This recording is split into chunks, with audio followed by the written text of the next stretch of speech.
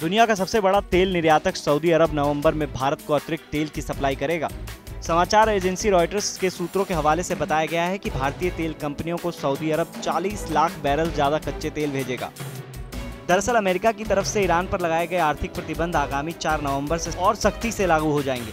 जिससे ईरान से तेल आयात करने वाले भारत समेत कई देशों को मुश्किल का सामना करना पड़ सकता है। ऐसे में दुनिया के तीसरे सबसे बड़े तेल उत्पादक देश सऊदी अरब ने भारत की मुश्किलों को दूर करने के लिए अतिरिक्त तेल सप्लाई का फैसला किया है। ईरान से तेल खरीदने के मामले में चीन के बाद भारत दूसरा सबसे बड़ा कस्टमर है। हालाँकि कई रिफाइनरीज ने संकेत दिया है कि अमेरिकी प्रतिबंधों के कारण वो ईरान से तेल लेना बंद कर देंगे।